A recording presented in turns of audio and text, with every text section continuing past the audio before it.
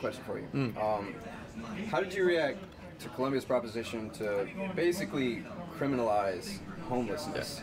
Like, how did that affect you?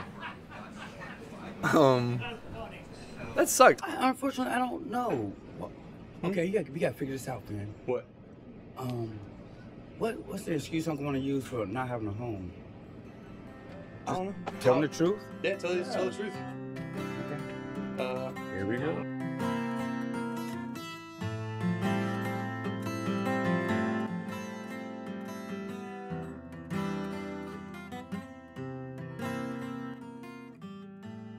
So go ahead and tell me your name, My name is Maurice Clegg. Maurice Clegg. Yes, sir. right. Maurice Noah Clegg. Hello, Senator. I'm Jeffrey. Jeffrey. Yeah. How long have you been without a home? House? Six years. Six years.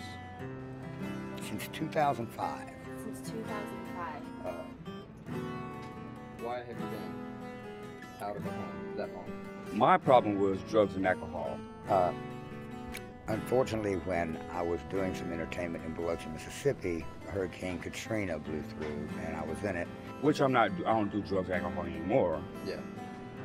But it was drugs and alcohol, and I mean, I, I'll be out in the streets and I can make three hundred, three thousand dollars a night and still wouldn't have a home. Losing a lot of everything I had with me at that time. A lot of belongings, a lot of things you can't replace. You know, I wouldn't pay any bills because I couldn't pay any bills. there was no such thing as bills to me. I just, Yeah. you know, I couldn't do it. When I got back, I found out that my fiance had been raped. She had been gang raped. That's pretty much it, honestly. She couldn't touch me anymore. It was just better for me to dip, being the man. I figured I would be all right, you know, and let her have the house. people who are downtown here who own shops downtown, they were upset and they wanted. They said they wanted to feel safe because they didn't feel safe. She's better off for it. It was better for me to do that, thinking I would get back on my feet and do it, but it just didn't work out. So these shopkeepers were like, "We need to get them out of Columbia," and I can understand why. They felt unsafe. It was three or four o'clock in the morning. People were going home. People were drunk, and people were just walking by these people. And um,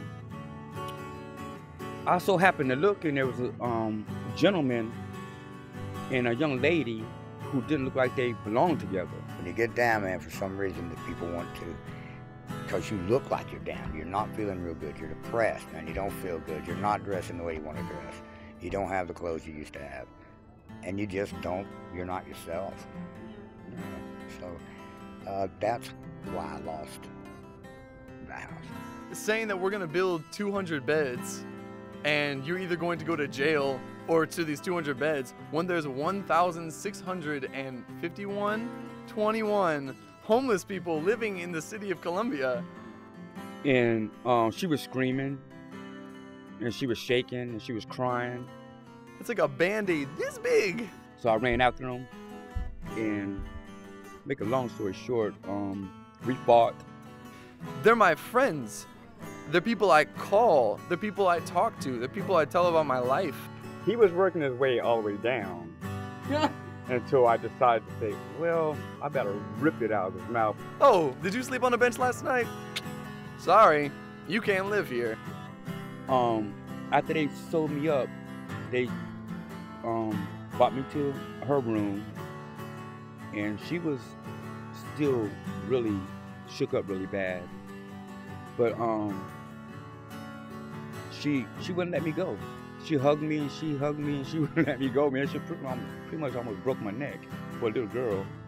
But um, if I wouldn't have been homeless, I don't know what would ever happen. What would have happened to that young girl?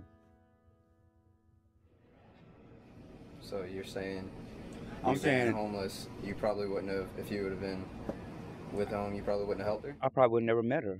Never met her. Everybody else was just walking by. But if I wouldn't have been homeless, I wouldn't have been in the streets that night, and I never would have met her. So, homeless is not a bad thing. It could also also be a good thing. You know, it was a good thing for me at that moment. So I never took. I'm, I'll never take that back for living in the streets at that time. Any more questions?